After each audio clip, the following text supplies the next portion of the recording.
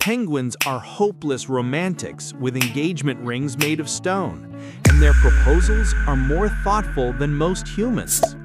When a male penguin finds his soulmate, he doesn't just waddle up and hope for the best. He searches the entire beach for the smoothest, most perfect pebble he can find.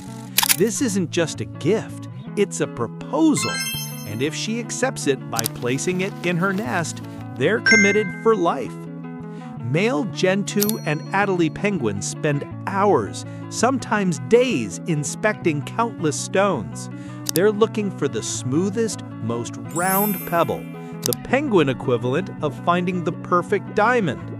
Some males even steal prized pebbles from rival nests when no one's looking. It's competitive, serious business. When he's found the perfect stone, the male waddles up to his chosen female and presents it with a bow. He literally bows. If she's impressed, she takes the pebble and adds it to her nest. That's the penguin version of saying yes. If she's not interested, she ignores it, and he has to try again with someone else.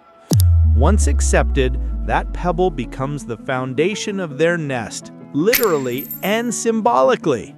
Penguin couples mate for life, returning to each other every breeding season. They'll continue collecting pebbles together, building their home one stone at a time. It's partnership, commitment, and teamwork. So penguins basically invented engagement rings, loyalty, and thoughtful gift giving. They're setting relationship standards we can barely reach. Love wholesome animal facts? Follow for more heartwarming nature stories that restore your faith.